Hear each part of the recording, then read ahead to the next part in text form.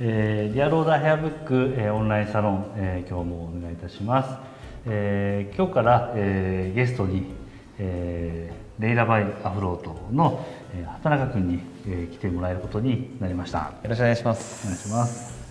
で、えーと、畑中君には今日ちょっとお話を伺って、えー、その後何回かに分けて、えー、実際に、えー、カットを、はい、してもらう動画を撮っていきたいと思ってますので、え楽しみにしててください。で、えー、畑中君なんだけど、まあ、ちょっとね紹介しないとね、はい、誰かっていうところなんで、えー、じゃ軽く自己紹介してみる？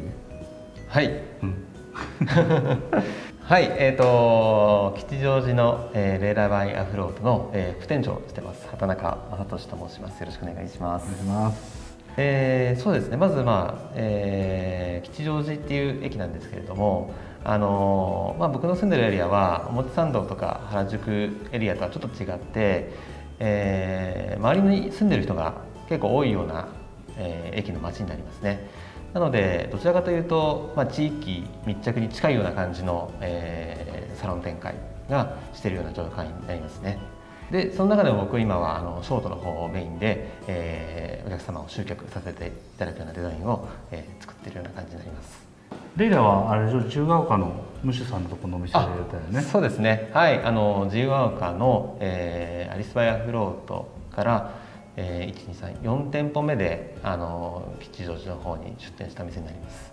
急に吉祥寺って言ったからびっくりした最初あそうですよね、びっくりしなかった？そうですね。いきなり結構言われたのでえっ、ー、と吉祥寺、うん、そうですね。結構自由が丘からも離れてるので、ね、はい。なのでゼロからスタートっていう感じになりますねやっぱり。吉祥寺はなんかどっちかあったんでしょ？あそうですね。あの最初のなんかね。店舗が そうですね。今2店舗目で。最初の店舗も吉祥寺でで、まあ、それもあって吉祥寺っていうところでこう選んでもらったかなっていうのはありますね、え吉祥寺吉祥寺やっぱり住んでる人多いの？そうですね、まあ、吉祥寺の方も多いですしやっぱりその周辺の方やっぱ表参道とか原宿渋谷まで行くのがちょっと面倒くさいなとか大変だなって方が結構吉祥寺に来る方が多いですね。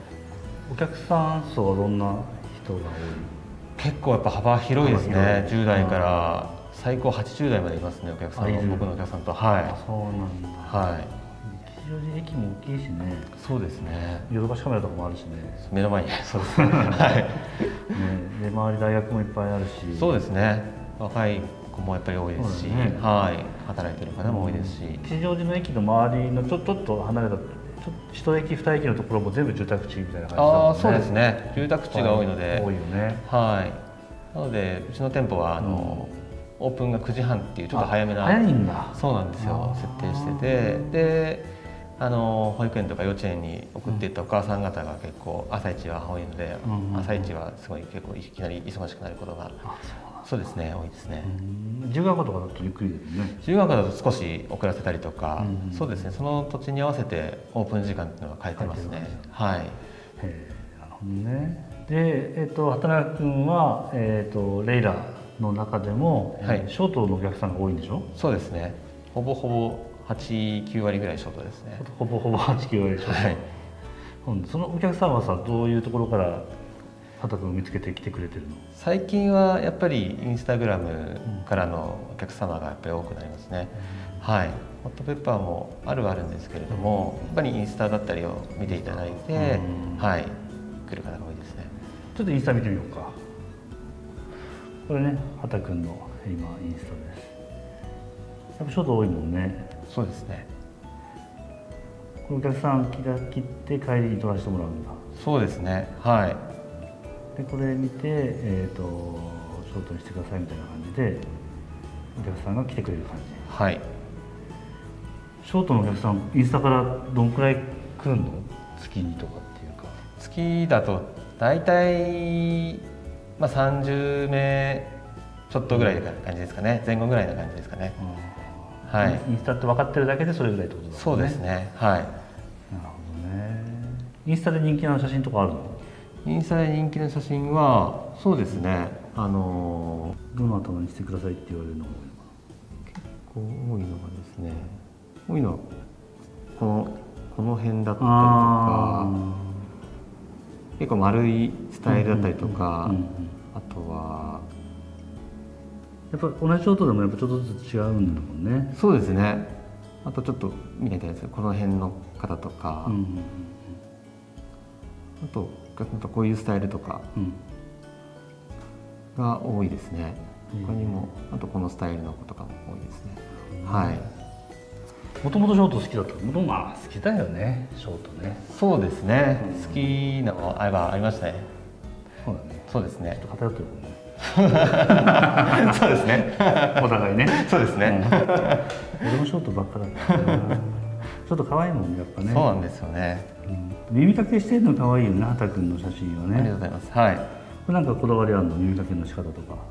そうですね。あのまあ耳にかけてそのまあそのもみあげがこうかかってきた時に、まあしっかり横に後ろのデザインと馴染むようにするっていうのももちろんそうですし、えー、あとはそうですねあの、まあ、結構かけちゃうことの方の方が多いっていうのがあるので、うん、まあ、それに合わせてデザインしますしあとはカウンセリングの時にあの、まあ普段耳をかけるかえー、両方かけるか左右、うん、右だけとか左かけだけとかって方がいるので、うん、それに合わせてあの一緒にこう作っていくことが多いですねやっぱり、うん、はい。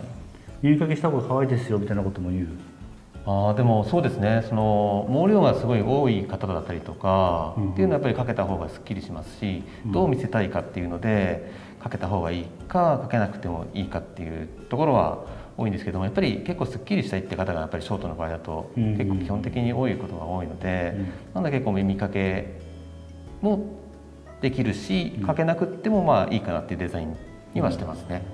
はい結構ねあの撮影の時に耳かけした方がいいよみたいな話になって、はい、かけてみようかってなるんだけど、はい、うまくかけられないみたいなそういう悩んでる美容師さんとかもいたりする、はい、その時畑君のインスタ教えちゃう。そうですか、うん、これ可愛いから見てってうん、それで何人か俺フォローしてもらってるから、そうなんですか、あありがとうございます、うん、結構ね紹介してるよ。ありがとうございます。すみません、可愛いよねやっぱねでえっ、と結構あれでしょだから今吉祥寺界隈でショートカットを切ってもらおうとすると、はい、みんな畑のところに集まってくるみたいな感じもあるよねきっとね。そういうことでいいですかね。そういうことでいいんだよね、うん、でその時に、はい、まああの切ってるショートを、今回は、とりあえず2パターンぐらい、はいうん。えー、実際に教えてもらって、はい、それの、えー、今吉祥寺でね一番売れてるショートカット、はい、畑中君が、はい。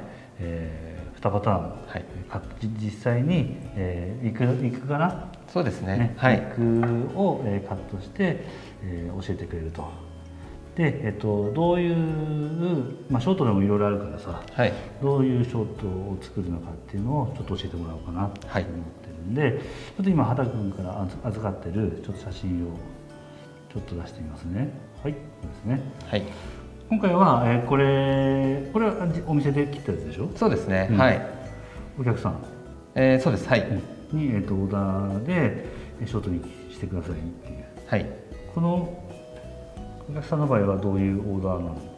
えー、これは、えっとまあ、丸みのあるショートなんですけれども、うん、あのあまりこうかっこよくとか、うん、えっとまあそうですねクールとか大人っぽくっていう感じでもないですし、うん、そのお客様自体がやっぱりそういう雰囲気じゃなかったっていうのも、うん、えー、あってでもその中でもやっぱショートにしたいっていうところで、まあ、ちょっとこう丸みのしっかり、うん、えー、あるような、えー、デザインで作ってるっていう感じですね。はい、女性らしいっていうかそうですね。可愛らしい感じがするよね。はいあんまりあのそのなんか攻めすぎてない感じっていうのも女性とかチャレンジしやすいのかな。そうですね。結構僕の中で意識してるのはあのまあ自分でやれるっていう、うん、自分で扱いやすいっていうのと、うん、確かにこう攻めすぎないようなデザインにはっては思っていますね、うん、はいなんか優しい感じだよね。ああそうかもしれないですね、うん、なんかバキバキでショートでバキみたいな感じ。です、ね、感じだとそうです、ね、ちょっとさチャレンジするのにちょっとハードル高いお客さんもそうじゃない？そうですね、うん、はい、短いの可愛いからちょっとやってみたいんだけどちょっとねそうですね、私似合うかなみたいなところで、こういう可愛いの見せてあげるとね、はい、やってみたいってなりそうだよね。そうですねこういうじゃあまず一パターン目は、はい、こういう丸みのある、はい。えー、ショートかな、違う写真もあるかな？これまた別のお客さんで、はい、この同じようなオーダーでそうですね。これもまた丸み系のショートになりますね、うん、はい。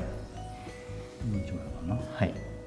でこれもそうですね。これはしっかりとこう耳にかけたデザインですね、そしたらじゃあまずは、えー、丸みのある丸みショートのパターンを、はい。えー、1パターン、はい、教えてもらえると、はい、ありがとうございます、はい、でもう一目もう一パターンかな、はい、がこんな感じ、はい、またちょっと違うよね。ちょっとシャープっていうか。そうですね。これがあの、くびれ系のあのまあ、くびれだったりひし形っていう呼ばれ方をするタイプの、うん、えー、ショートスタイルですね、うん、はい。なんかすっきりしてるっていうかそうですね。なんかおしゃれ感がよりますっていうか。はいはいはい。そうですね、ね、確かにこうシャープな分そういった、うん、そうですね感じになりやすいですね、ただちょっと、はい、大人っぽく見せたりとか、はい。毛量がすごく多い方とかにもすごくおすすめな感じですね。これもくびれショートそうですね、うん、くびれショートにしたいっていうお客さんはどういうお客さんが多いの？そうですね。そのまあやっぱりさっきも言ったんですがボリュームが、えー、出やすいっていう方だったりとか、うん、あとはもうもっとやっぱりまあ、ベリーショートまではしたくないけどすごいすっきりしたいなっていう方、うん、まあ、結構そのタイプの方はもうショート結構やってる方の方が多いような気がしますね。はい。でもう結構すっきり多くて、ここも襟足も気になるとかっていう方が結構、えー、すっきりめなパターンで,、で日本人のやっぱ骨格って考えるとやっぱりとこの後頭部が潰れてることが多いのでそのよりこうメリハリが出しやすいかなっていうデザインではありますね。はいもともとじゃあショートやってたんだけどまた感じ変えたいみたいな。とかそうですね、はい、もっとおしゃれな感じになってみたいみたいなそうですね。感じかな、はい、この襟足がねこのすごいすっきりしてて、はい、この後頭部の形とかすごく綺麗だよね。はい。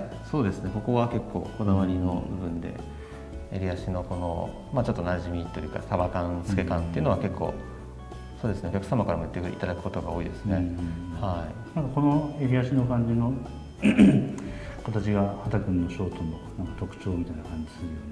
そうですね。そこもあんまりこう短すぎないっていうのが僕の中のポイントかもしれないですね、あんまりこうなんだろうこうジョリジョリっとさせないような感じの襟足にするっていうのが結構、そこで結構女性らしさというのをこう保ってるっていう気がしますね、僕の中では。はいこの感じだとお客さんもスタイリングさ難しくないでしょうきっと。そうですね。もうそんなに癖とかよっぽど強くなければもう乾かして、うん。えー、普段のサロンワークでも乾かしてブローとかしないで、うん、そのままもうバームつけて終了っていうことが多いので。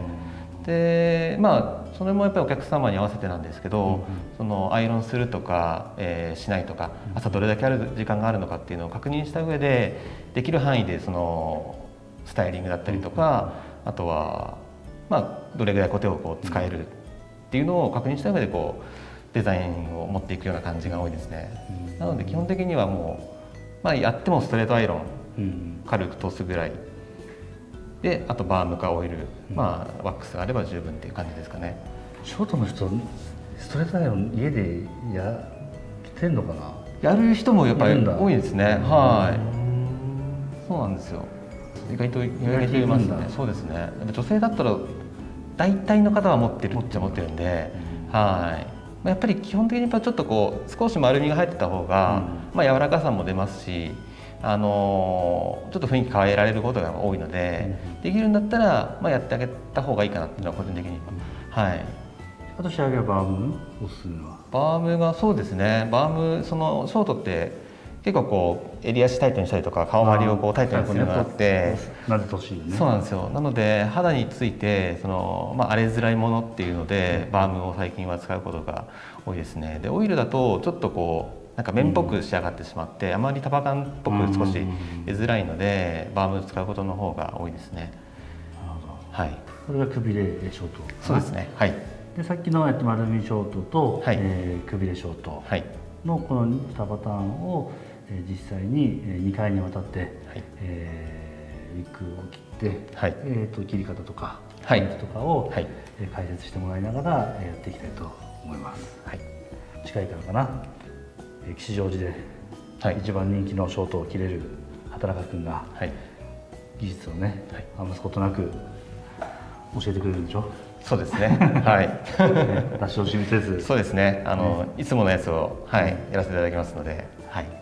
で、えっと今回はえっとちょっと新しい試みとして切ってるところのえっと手元がえっとより見えるように畑中君のこのね目線のところに目線カメラをつけて実際に働く畑中君の目線で、はい、どういうふうに引き出してとかどこをカットしてとかっていうところを、はい、えー、見れるような撮影をしていきたいと思ってますので次回から、はい。えー、畑中君の、えー、カットの風景、えー、楽しみにしててください。じゃあよろしくお願いします。よろしくお願いします。はい、お願いします。